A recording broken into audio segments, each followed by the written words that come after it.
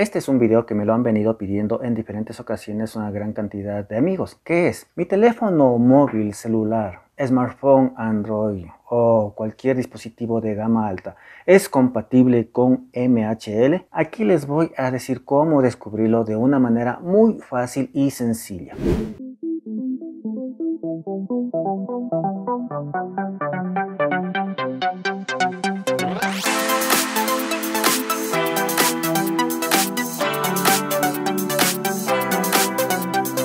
Les voy a dejar a ustedes en la descripción, eh, específicamente en la primera línea y también en el primer comentario fijado de este video, dos artículos que espero lo puedan leer. En cada uno de ellos existe la posibilidad de averiguar si nuestro dispositivo móvil es compatible con el MHL. Pero ¿qué es esto del MHL? En realidad viene a ser un término que nos indica a nosotros si el teléfono móvil puede utilizar o no aquellos adaptadores que en un momento determinado mm, vimos en una tienda electrónica y que nos ayuda a clonar el contenido de la pantalla de nuestro teléfono móvil o celular Android hacia un televisor externo utilizando solamente el cable USB y lógicamente el adaptador que tiene un HDMI out. Vamos a ser un poco más concretos en lo que les he comentado. Los adaptadores son muy similares a estos, uno de los cuales ya hablé anteriormente y que les dije que había comprado para mi nuevo Galaxy A71. Claro, aquí cambia un poquito el puerto porque este viene a ser el tipo C que calza justamente en ese tipo de smartphones modernos. Pero del otro lado tengo otros puertos. Uno de ellos viene a ser el HDMI es un out.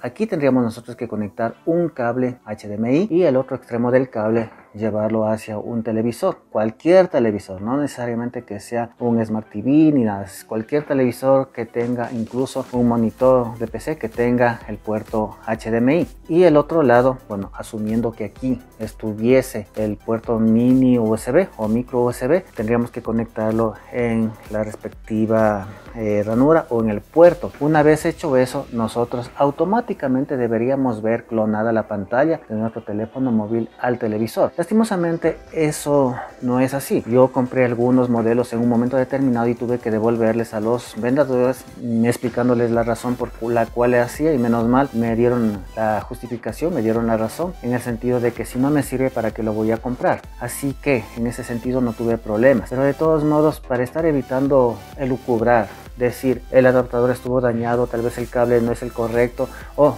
en el último de los casos el teléfono no es compatible con MHL o con estos adaptadores, pues vamos nosotros a descubrir qué es lo que tenemos que hacer. Yo les recomiendo a ustedes visitar una web, la primera de ellas, el primer enlace que les dejaré para que ustedes vean un interesante enlace que les voy a mostrar en este momento. Aquí pueden ver ustedes un enlace, un vínculo, el que dice lista de compatibilidad con cables MHL. Si le hacen clic saltarán a otra ventana como esta. En este espacio ustedes necesitan colocar el modelo de su dispositivo móvil o simplemente buscar por marca y por fabricante. Pero hay una manera más fácil de hacerlo porque realmente aquí lo que tenemos que escribir nosotros o digitar es el modelo del teléfono móvil pero el nombre técnico. No, por ejemplo, yo no podría poner allí Samsung Galaxy J7. ¿Cuál J7? Hay muchos J7 y uno de ellos posiblemente sí sea compatible con MHL. Entonces yo les sugiero a ustedes utilizar otra web diferente en caso de que no sepan entender cómo funciona esta para que descarguen esta interesante aplicación. Bueno, la aplicación fue sacada de la tienda como muchas de las herramientas que Google suele simplemente porque no quieren seguir en la tienda pagando el porcentaje que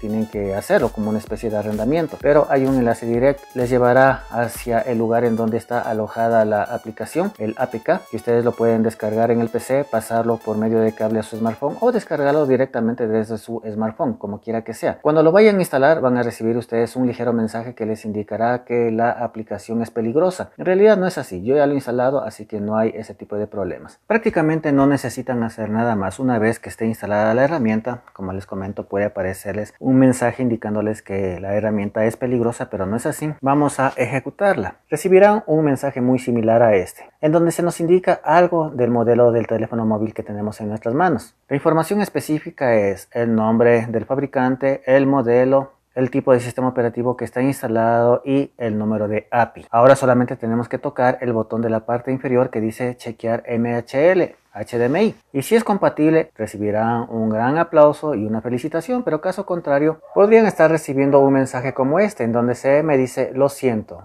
no es compatible con MHL y con lo cual prácticamente nosotros ya no deberíamos de estar buscando más soluciones o alternativas porque el teléfono móvil no tiene la capacidad de proyectar la pantalla hacia un televisor convencional con HDMI utilizando cualquier adaptador que sea. Lógicamente sí hay excepciones, hay excepciones, pero representa un gasto bastante grande que no creo que alguien quiera realizar. Soluciones tales como comprar un dispositivo tipo Chromecast para poder emitir la señal de un lado a otro. Ese tipo de soluciones son temporales. También hay otro tipo de soluciones para equipos más, más sofisticados o incluso más lentos. Yo he visto algunos en eBay, he querido comprarlos, pero no he visto una necesidad tan grande como para realizarlo. Bueno, con este video amigos creo que queda solucionada esa duda que seguramente la tienen ustedes. Gracias amigos y nos vemos en una próxima en este canal.